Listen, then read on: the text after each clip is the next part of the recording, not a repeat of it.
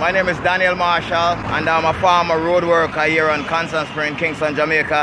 Uh, my videos are about the major development work that's happening in Jamaica, both the road work and the development infrastructural buildings that's happening in Jamaica. And also at the same time exposing the beauty of my country in Jamaica.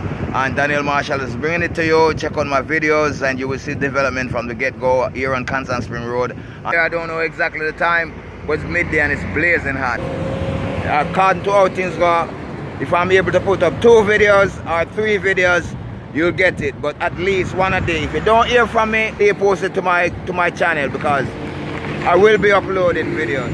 At least one video a day. Expect that from Daniel Marshall, infrastructural work. And I'll be uploading one video a day. Two if possible, three if possible. Alright, but expect from me one video a day. If you don't hear from me, don't worry. You will. Blessed love. Aye.